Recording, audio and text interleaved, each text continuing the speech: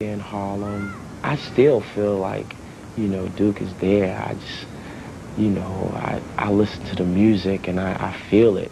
Duke Ellington plays such a big role uh, with jazz in the society. I will give this piece Swing a Little. It's, uh, actually it's called Swing a Little Funk into Gang Gang. Would Duke dig it? Yeah, he would, he would, he would say, uh, you know, job well done. I'm sure.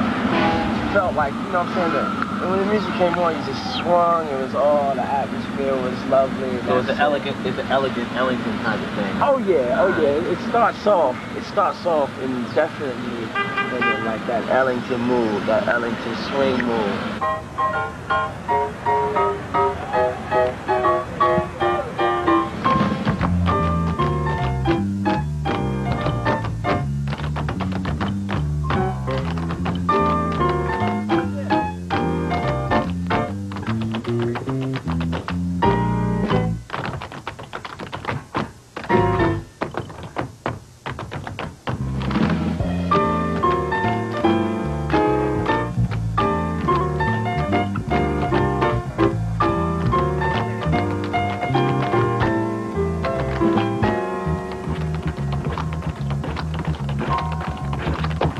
It's funny that we picked uh, Swing a Little to do because it's really broken down into like three sections. Jason and Omar, I think we like the swing section the best. And then you have like Ayodele.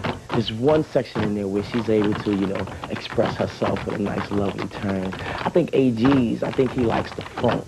But the whole thing, it just felt lovely. Doing the number outside, you know, by the water.